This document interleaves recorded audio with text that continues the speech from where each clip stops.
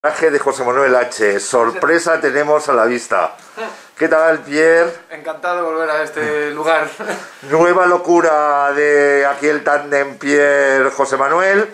Pierre vio un coche, ya sabéis que Pierre es un enamorado de los coches japoneses y le encantan los coches a carburación. Vio una oportunidad desde casa, un coche a mitad de Toledo, me llamó, me dijo, tío, puedes ir a comprarlo, verlo y tal. Dicho y hecho, en esa misma tarde llamé al tío, fuimos a Toledo, lo vimos, le negociamos el precio, lo compramos, lo dejamos ahí porque el coche no tiene la ITV, no, no, no va bien, no arrancaba, no, era un desastre. Pero ha venido por fin ya Piera por él, hemos ido a Toledo, lo hemos traído a casa, mañana le pasamos la ITV y ahora estamos ahí, bueno, está Pierre dándole para ver qué le hacemos. Así que venga, Pierre, cuéntanos, que ya me he hecho yo la introducción. Una, una locura, una locura. Solo nos ocurre a nosotros liarnos en un semejante embarque. Pero bien, un Tamagotchi de este es pequeño, un Micra de los primeros, que aquí no se vendió, y a ver si le sacamos un partido interesante. Yo creo que sí. Bueno, Ari, cuéntanos así un poquito brevemente el coche de qué va, que es de... Es el Micra Micra original, versión japonesa traído de Japón, porque estos no los fabricaron nada más que allí. Y se vendió pues parte de Europa, algo en Inglaterra y poca cosa, mucho en Estados Unidos como siempre. Y es un vehículo que aquí, la verdad que se ve muy poco. Aquí el que se conoce es el, lo que conocen como K11, este es el K10, que es el Ajá. original, original del 82. Y nada, carburación y por lo que veo muy mal carburado. Mil centímetros cúbicos, ¿no? Mil centímetros cúbicos, 998, si quieres. 75 caballos, o como era, no, 52, 52 caballos, ¿no? 50 suficientes. Vamos, vamos a enseñárselo a los amigos, Sí. Lo, lo que queda de él. Pues esta es la joya, esto así es como está y ya en su momento os mostraremos cómo queda. Tenemos pendiente de publicar, porque Pierre me va mandando progresiva y paulatinamente todos los avances que está haciendo en su Toyota MR2, el que nos trajimos de Inglaterra, y cuando lo tenga ya todo terminado, que ha tenido mil y unas vicisitudes, ya os contaremos, cuando tenga todas las piezas de ese vídeo, montaré un vídeo solo y exclusivamente de todo lo que le ha hecho Pierre a su Toyota MR2. En su día haremos lo mismo con este Toyota Micra, hay que hacerle pintura desde luego, bueno, una restauración completa porque el coche está... Que luego el resultado final puede ser un coche completamente de serie y cuidadito tipo clásico, porque de mantenimiento es bastante baratito y, y asequible. Ajá. O arrancar la mitad de lo que hay ahí, meter unos carburadores de moto y lo que salga. Porque los coches ochenteros, sabes que lo de la ITV, Ya, ¿no? ya, ni, ni colector de escape, ni nada, o sea, no se meten con este tipo de detalles y aquí podemos medio ganarle un poquito de, de- de alegría al coche. Que el coche va, para estar como estaba, muy bien, ¿eh? la verdad, coge 110 perfectamente, sin, sin ansia de que fuera a explotar, no se calienta, no tiembla nada raro. O sea, nosotros lo que hay que hacer es carburación porque, vamos, eh, y, Y y batería y cambio de aceite, así lo, lo justo para pasar mañana a la ITV y que Pierre pueda volver a Galicia otra vez desde Madrid. Esa es la movida, que, que, que cuadre todo, sobre todo que llegue sano y salvo a- y sin multas a Galicia. Lo de la multa ya sería lo de menos, que no me deje tirado por ahí. Pero Lo tengo además en unas condiciones lamentables porque mirad, tengo todo el garaje con lo de la BMW, así aprovechamos que también Pierre ponga su, su granito de arena en el proyecto este colaborativo BMW K1200 LT, está el garaje lleno, entonces tenemos que trabajar fuera y hay previsión de nieve y entonces supone que esta noche mañana nieva. Así que también vamos contra el reloj por las condiciones climatológicas de la historia. Aquí ha abierto Pierre el carburador. Ha, ha descubierto que había uno de los tubitos de admisión que estaban rajados y podría ser el problema por el cual, o sea, el coche no carbura bien, hay que estar acelerándole a tope porque el relentino lo mantiene. Bueno, a, a la última hora cuando he llegado aquí lo medio mantenía y luego viniendo para acá rateaba y tal, hemos venido pues desde, desde Toledo hasta aquí pues a 80 y tal, despacito, yo escoltándole y, y nada, y abriendo camino, ya hemos llegado, así que lo más difícil está hecho. Vamos a ver ahora si esta batería tiene algo de salud o no con el medidor este de salud, Sí. y a ver si la podemos revivir o directamente hay que ir a comprar una. Ojalá se pueda revivir. ¿Quieres que vayamos ahora a comprar lo de los aceites o lo hacemos mañana por la mañana? Como a ti, a mí me da lo mismo, como tú lo veas. Como ves, como ves. Es que no sé ni qué hora es. No sé ni qué hora está. O sea, de comprarlo y lo más razonable y tal es bajarnos al Carrefour, que hay ahí un Sí. montón de aceites y la movida y tal, porque lo demás está todo cerrado. Sería un Ah, Carrefour. pues entonces déjate ver si cuadra mañana de que solventamos lo más gordo. Sí, mañana podemos levantarnos prontito y a las 9 estar en el polígono industrial digo, a comprar lo que... Porque si nos lía la madeja, ya el aceite lo de menos que aceite tiene. Ajá. ¿Sabes? Si blender una más, por si no nos lía aquí mucho la madeja esto. Sí, yo creo, igual tampoco- que lo del aceite es justo cuando esté todo solucionado, ya Sí. le cambiamos el aceite y te bajan el aceite cambiado, ¿no? Básicamente porque no sé cómo estará eso, que yo antes cuando se lo miré era petróleo. Sí, ¿no? Pero bueno, tampoco es lo que más me preocupa. Sí, no, ahora el objetivo es eso, que mañana pase la ITV, ¿no? Ese es el objetivo. Y que se mantenga encendido y va, eso no, tampoco me preocupa mucho. Pero bueno, bien. Me preocupa más el, el ruido del escape. Bueno, pero ese ahora lo desmontamos, ¿no? Lo vamos a desmontar ahora y ahí dentro ya en el garaje vemos si le podemos tapar el agujerito y ya está. Yo creo que está suelto, suelto. Suelto literal que se ha soltado y habrá que ponerlo en sitio, engancharlo bien y pista. Bueno, pero en levantar el coche eso no tardamos nada, nada o sea que con luces y tal eso no tenemos sí, problema. 100 kilos tampoco creo que... Pero bien, vamos allá. Lo que sí estuve mirando tu BMW y... Cuidado, ¿eh? Cuidado de lo complejo que- de que... No, complejo no, que lo valiente.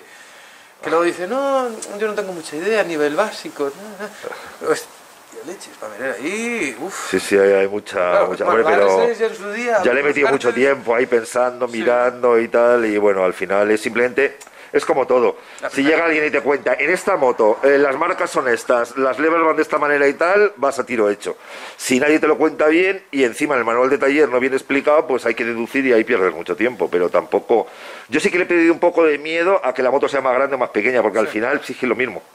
O sea, esta moto lo que tiene que complicar la electrónica es diferente de otras. Sí. En lo que es mecánica, no tiene tampoco, yo no le veo así especialmente nada más diferente a otra Los ac- 1000, a otra los 1200, accesos, ¿no? Los accesos porque... Sí, pero acceso es desmontar, desmontar, desmontar. No tiene tampoco mucha complicación mecánica. Es simplemente que hay que desmontar mil cosas. Como yo grabo en vídeo todo, lo documento bien, pues todo lo que se deshace se vuelve a hacer y... No, ahí sí.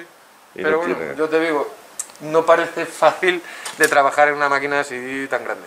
Claro, El problema de esta Ya máquina es que hay, que hay que desmontar muchas, muchas cosas, tío. Muchas cosas. Pero bueno, ahora vamos a dedicarnos al Nissan y luego ya nos dedicamos a la BMW si da algo de tiempo. Venga. Vale. No, espera, que voy- Amigos, aquí estamos sacándole el pastizal este así color chocolatazo de, de frenos. Bien, a ver, ¿qué, ¿qué has descubierto? ¿Qué nos cuentas? Pues una gran, ver si lo puedes ver de ahí, gran colección de tubos que no valen para nada. Todo lo que es el sistema de vacío, de encender el, el aire eléctrico. Esos son los que llevaba, ¿no? Esos todos los Ah, que llevaba. Y están en tipo esto, así. Cuarteados, abiertos. Esto es una de las averías más comunes en coches con EGR, o GR, perdón, y todas estas piezas que a veces fallan, se mandan a limpiar y te dicen, no, no está sucia y tal, pero el coche no mantiene bien relentí, no empuja bien el turbo. Estoy hablando de hablando- le pasa un montón de leones, Volkswagen y tal. Ay, ¿qué tubo será? Cámbialos todos. Para lo que vale dos metros de tubo, es un chollo fuerte porque tienes que quitar todo y volver a poner, pero te se, Se arregla toda la historia, ¿no? Un- lo- los vacíos, como tengas un vacío por cualquier sitio, ya te la está liando. Y es bastante común. Pero bueno, esto ya tiene 30 años, es mejor cambiarlo. Yo creo que será de ahí, mucha basurilla tampoco tenía el, el carburador. O sea, más que suciedad era más todo el tema de la aspiración ahí, Es- que tenía un montón de rajas y la movida, ¿no? Bueno, Eh. pues mejor, ¿no? Para A ver, a ahora cuando montemos... te- porque lleva muchas... Este es igual que el primer, bueno, el primera que tenía, el- es un poco más grande, el carburador es el Hitachi 2, este es el Hitachi 1 y lleva muchos sensores, o sea, lleva eh, enriquecedor de oxígeno eh, en caliente, o sea, cuando está caliente aquí abre una pequeña membrana que te manda el aire debajo del colector para enriquecer de oxígeno la mezcla y no contaminar. O sea, tiene un montón de leches. Sea, de hecho, esto es lo que controla la- el encendido, o sea, el, el tirador del aire, que por debajo de 15 grados tiene un bimetal Joder. enroscado, entonces hace fuerza y te cierra la palometa, como está aquí ahora que está cerrada. En cuanto le damos corriente, que lleva un cable, le está dando 12 voltios, se calienta la resistencia, lo que hace es y abrirte. O sea, tiene muchas cosas que a nada de ninguna de ellas que esté mal, te la lía. Te lo ligan. Porque aquí lleva el vacío para el segundo carburador, o sea, el segundo cuerpo, el vacío para la- el sistema de aire, o sea, el sistema de trampa cuando está caliente que va por otro sitio, o sea, es muy completito. Ajá. O sea, los japoneses sí tenían unos muy buenos carburadores y, y dejaron de fabricarlos por el tema de la contaminación de los inyectores, además la inyección, pero realmente eran muy muy buenos. Pero tú sigues enamorado de la tecnología japonesa, ¿no? Sí, porque si conocen un poco así los frikis así del canal, los, los vídeos estos que tienen los de, ¿cómo se llamaban? Top Gear con el tema de... y Joyas sobre las ruedas, que también Ajá, sale, ajá. lo del Civic, de dónde Sí. viene el Civic, que Ajá. no es, es CCVIT, que es el- las siglas del carburador que llevaba ese coche, el Civic, el primero que ni siquiera llama, se llamaba Civic. Y era un- una obra maestra de la ingeniería, o sea, era un carburador muy difícil de ajustar, pero una vez que funcionaba conseguía unos consumos en los años 70 impensables. O sea, hay coches de inyección que consumen más que ese sistema de carburación. Fíjate. Y por temas de contaminación y el, el muro tecnológico que tienen así los grandes países, pues al final, pero los carburadores malos no son. Ajá. ¿Qué pasa? Que hay que saber llevarlos y saber mantenerlos, nada más. Ajá. Ah, Para mí es lo mejor. Sí, la- la- ya- yo también, macho, la sensación de conducción, de carburación, no es igual que la de inyección. Bueno, cuando el carburador está bueno, ¿eh? cuando Pero cuando el carburador está No, desajustado que- es que es para matarlo, tío. Pero sí. es igual que con una dirección sin, o sea, un coche sin dirección. Ajá. Bien, sales igual. Pero en dos curvas dices, de verdad, de verdad esto es una dirección, o sea, qué tacto. No notas todo. Ah, Eh, Y la carburación es, es- es- es sentir el motor como respira. ajá. Eh, Es lo que más, lo que más me gustó, con diferencia. Bueno, pues aquí seguimos. Ya le hemos cambiado la parte de esta. No, no cambia el líquido de frenos, no, pero le hemos quitado toda la parte esta que tenía ahí chocolatosa. Le hemos puesto dos veces, hemos vuelto a enjuagar y sacar y luego ya cuando llegue bien a casa ya le cambiar el líquido de frenos. Sí, ¿Qué pasa? ¿Bujías dices que estaban totalmente sueltas o qué? ¿Flojas o...? pero muy, ¿eh? O sea, Pero muy de- flojas. De, susto. O sea, no sé, esta... O sea, Estaban ahí sin apretar con las manos o qué? estaba sin apretar de todo. Pero todas, ¿eh? ¿Y que las estás sacando para limpiarlas o no? La iba, saqué la primera, pero viendo que está más o menos decente Ajá. y con la mierda que hay en el agujero. Claro, mejor no tocar, tocar. ¿no? Vale, Lavar, lavar, lavar y luego ya se sacan las bujías porque si no. entra todo ahí dentro. Sí. Y yo creo que lo que tiene es, aparte de las tomas de aire, algo de. Mira, decir que está fuera de punto. Fuera de punto. O sea que con tu... Ahora vamos a enseñarles a los amigos cómo funciona la... est- ¿Cómo es? Estrobos... ¿Cómo es? Estroboscópica. Bueno, ya veréis qué estroboscópica más maravillosa tiene Pierre. Ahora lo vamos a ver. Estoy yo aquí echándole una mano, eh, sopleteando el filtro del aire. Llevo como 10 minutos dándole con el este a presión y venga a salir polvo negro, polvo negro, polvo negro y le doy, le doy y polvo negro y no deja de salir polvo negro. O sea que este filtro de aire, vaya usted a saber cuándo lo cambiaron por última vez. Como todo. Igual hace 20 años o... Demasiada mierda tenía, así que algo también se notará. Sumando un poquito, sumando un poquito todo, igual hasta luego, hasta casa, que te dé tiempo luego a arreglarlo todo bien, medio llegas, ¿no? Que, que no creo que dé problemas, o no debería. Los neumáticos también están todos bajísimos, la batería está muerta, mañana tenemos que poner batería nueva, tenemos que cambiar el aceite mañana también, todo antes de pasar la ITV. Viendo cómo están las cosas, casi mejor no arriesgar. Quiero decir, viendo cómo están la Ajá. batería, el líquido y tal, pues estará todo. Todo igual de, de mierdero, ¿no? sí. Lo justo para pasar la ITV. No, a ver, yo entre comillas lo entiendo, ¿eh? Si te da igual el coche como esté mientras cumples su servicio, lo Claro. justo para que pase. Hasta que muera y ya está. Pero bueno, a mí me duele. Ya, ya, a mí cualquier cosa también mecánica, tío, que pueda cuidar, si no, pues es que cuidar las cosas tampoco ni cuesta tanto dinero ni cuesta tanto tiempo, es un poquito voluntad, tío. Comer marisco, como dice mi pueblo. Ajá. ¿El coche come marisco todos los días? No. No, coño, pero lo básico, normal, tío. Para servir a la persona lo justo. Claro. Y para que dure todos los años del mundo, tío, o sea, y tienen que durar las cosas. A ver qué surge de ahí. a seguir con ello. Ahora nos cuenta lo de la estroboscópica, ¿vale? Ok.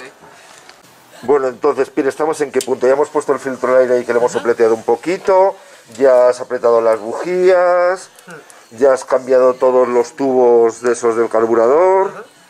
Ahora el momento es a ver si, si conseguimos quedar en ralentí estable. Y en cuanto esté ralentí estable, nada, es aflojar aquí el tornillo que, digamos, frena el distribuidor. Y aquí de este lado tenemos las marcas que nos indican los grados. En este lado está, en este, en este caso... entonces sería el momento de la estroboscópica para dejarle a punto el avance, ¿no? Claro, eh, entre 8 y 10 grados a ralentí. Vale. Venga, pues ese es el punto. Yo es la primera vez que voy a ver utilizar en vivo y en directo un estroboscópico en un coche, o En sea los que... vídeos te aviso que sale muy mal. Bueno, pero un que lo poco, tengo hecho y se ve fatal. pero un poco la idea de cómo el va. fogonazo se ve, pero no se ve clara la, la marca. La- las marcas están claras. Una es la de la polea y otra es una serie de números que hay aquí puestos, uno detrás de otro, y tiene que coincidir pues, en el 10 Ajá. a ralentí. A 10 el ralentí si tienes una pistola simple. Si tienes una pistola así compuesta, lo que puedes es ponerle los 10 grados a la pistola, entonces la línea se te queda al cero. Ajá. Que es más fácil de ver el cero que no los 10. Ya, Por eso molan las ajustables. que bueno, yo solo estudié en su día en teoría, vi un montón de vídeos, pero jamás he hecho eso, tío. Jamás. No, es un poco confuso porque es hacia atrás todo, o sea, es antes de. O sea, tú ves el fogonazo y ese es el momento en el que suelta la chispa. Tú lo que tienes que hacer es correr el, el, el distribuidor antes, para que salte la chispa antes, y, y en los grados que te manda el fabricante. No puede estar frío ni acelerado, te dice que eh, a ralentí o eso. a ¿A ralentía, 800. temperatura de servicio, eso da Sí, igual? a A ralentía, temperatura de servicio. Y ahí tiene que estar, pues eso, lo que te diga el fabricante, 8, 10 o lo que sea. Vale. Entonces es más fácil con la pistola ya poner los 10 para que te marque 0 que no ir buscar el 10. Y este sabes que es 10 porque lo has mirado ya antes, porque lo sabes y ya está, ¿no? Vale. A ver, eh, un coche normal a carburación anda eso, entre 8 y 10 grados al ralentí. Luego Ah. puede subir a 35, Ajá, incluso hasta 40. ajá, Coches de inyección pueden llevar más, ajá. ¿vale? Pero eso ya lo controla la centralita. Claro, y tú no Ahí puedes hacer nada con el avance. nada. No, a ver, conectar la máquina y sí que te dice los grados de avance. Y, Pero tú no puedes modificar el avance, puedes no es modificar. inyección, Hombre, claro, Si ¿no? tienes una programable, sí. Ah, vale. Te puedes poner cuándo quieres que te suba y hasta dónde. De hecho, cuando se enturba un coche, lo que se hace es retrasar el encendido. Porque si no hay, hay detonación, seguro. O sea, Ah, o sea, tiene menos grados de avance un coche con turbo que sin turbo. Ah. Entonces, por eso los carburadores molan. Porque tú, vale, el fabricante te dice entre 8 y 10. Sí, pero lo puedes poner incluso hasta 15. Ajá.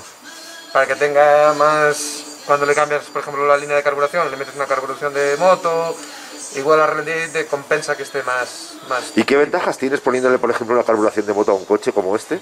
que tienes todos los cilindros eh, por separado. Vale. Eso ya para empezar. Entonces ya puedes meter la cantidad exacta a cada cilindro. Luego que tienes un alimentador por cada cilindro.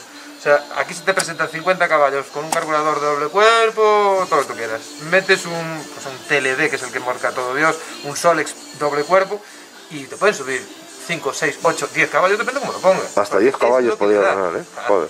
Si tú cierras la admisión y le metes directamente cuatro carburadores, ya puedes subir bastante más. Claro, que 10 caballos es muy relativo. Dice 10 caballos, que poquito, pero claro, 10 caballos frente a 50 es un 20% de Sí, mejora de porque 300 potencia. caballos Claro, te ponen 10 por encima. Claro, y ni te enteras. Qué cosa, tío. Eso es la- lo que mola de los motores pequeños. Aparte de que cuando vas circulando y tal, parece que siempre vas al límite. Entonces es como que los tienes que Sí, que te diviertes más, te diviertes más. Claro. Si te sobran caballos, pues no tiene gracia. Claro. Sí, como pegan el asiento, pero poca cosa. No, pero es que ahora con los límites de velocidad, con no sé qué y tal, ir en un coche potente es un aburrimiento, porque no tienes sensaciones. En cambio, claro, con uno así puedes Para tener sí, sensaciones, para tío. ahí estoy de acuerdo, porque tengo un amigo que al final le tuve que dar la razón. Quiero 800 caballos para correr en recta y quiero 800 caballos para correr. En curva ya veremos cómo lo llevamos. Claro, sí, si vas a correr te hace falta caballaje. ¿no? Pero a circular sobra. Vamos a ver cómo va. Venga, vamos a ver cómo va.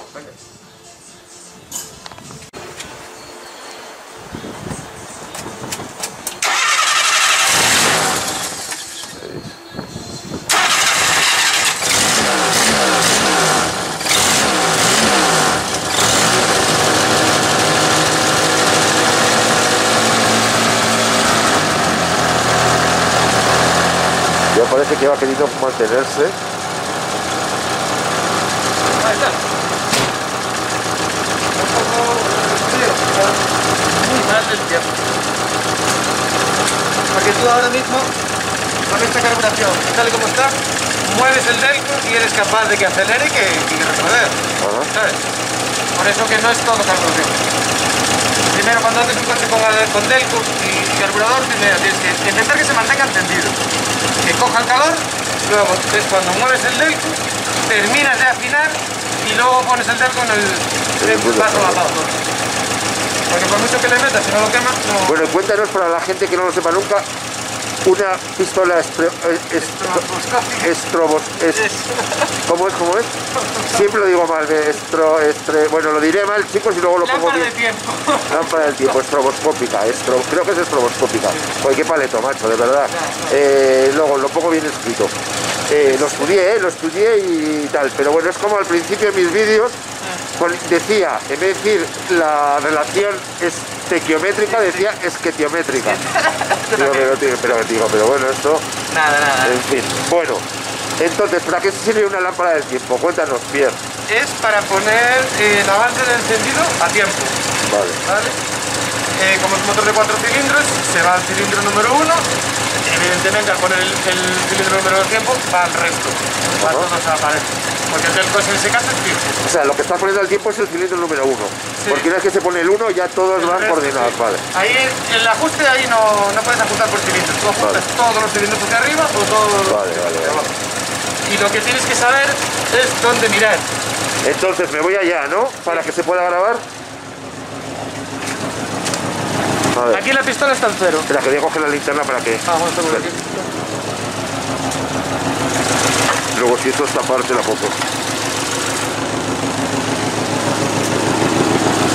pues no está tan mal, ¿eh?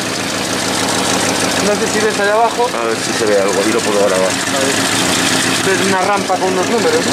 Justo encima de la polea, ¿no? Si veo un 10, Un ¿no? 10, Sí. sí. Espera, que lo vea la gente, un 10, a ver. No sé si la cámara lo cogió o no, pero...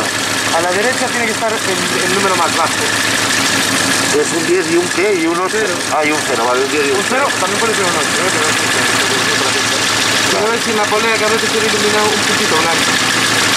No lo veo ahora mismo, el punto blanco. poco marcado. Vale. como una especie de puntito blanco que está cerca del 10. Vale, entonces tú ahora estás con la pistola estroboscópica y tiene que coincidir el punto blanco con el 10. 10, sí. Si yo subo la pistola, ahora le voy subiendo la pistola a grados hasta el 10. ¿Viste cómo llegó al punto al cero ahora? No, no, pero yo no, no, no lo veo... Ah, no ves en la polea. O sea, no veo el punto blanco para que coincida con el 10. Vale, a ver. Ahí. Ahí en, en la polea, ¿Sí? si te fijas justo ahora en el 10, hay como un destellito blanco. Que es la marca. Si no, le hacemos una marca ahora con rotulador otro color. Yo, yo no lo veo, ¿eh? Yo si no lo veo no creo que se vea en la cámara. No, no, es que en la cámara de tele por la luz yo te digo que se lo sacan. Está justo en el canto del labio de la polea. Ah, ya lo veo. Sí, sí. Ya lo está en el 10, ya, tío. ya, pero mira cómo se mueve ahora. Ay, Sí, ahora, ahora le has movido un huevo, tío. Claro, porque yo aquí le acabo de poner 13 grados. Le pongo 10 en la pistola, tiene que estar en el 0. Está en el 0, sí, la veo. Vale, vale, a 10 vale. grados. Ahora, si yo acelero, tiene que empezar a moverse la, la marca un montón, porque entonces cuando avanza el encendido y se va. se. Sí, sí, va corriendo. Se mueve. Y ahora vuelve vez al 0. Que todavía está caliente el coche todo. Yo no sé muy a punto esto, pero bueno. Ahí. Pues parece que está. Si avance, parece que está. Ahora